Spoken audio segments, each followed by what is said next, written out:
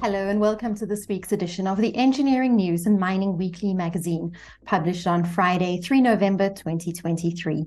In this week's cover article, Engineering News and Mining Weekly senior contributing editor online Tasneem Bulbulia writes that Mintek's AmazeMet acquisition aims to support South Africa's additive manufacturing ambitions.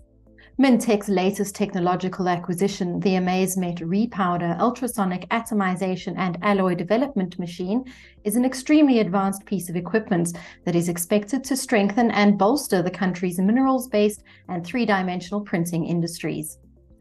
The engineering news features focus on warehousing and storage, where a new warehouse is set to bolster a logistic provider's position in the sector and business in Africa, where a boiler and steam generator supplier are servicing businesses across Africa.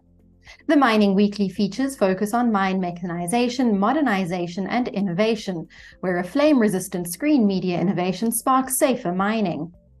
And project management, where better project management can improve a mine's capital productivity.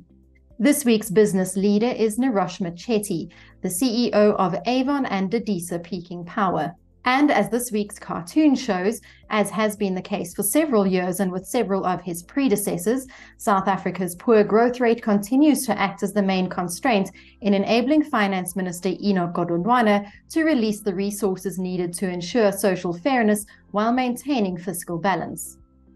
We hope you enjoy this week's edition of Creamer Media's Engineering News and Mining Weekly. Be sure to subscribe to the magazine that offers you in depth news about developments in the real economy by emailing subscriptions at engineeringnews.co.za. Happy reading and see you next time.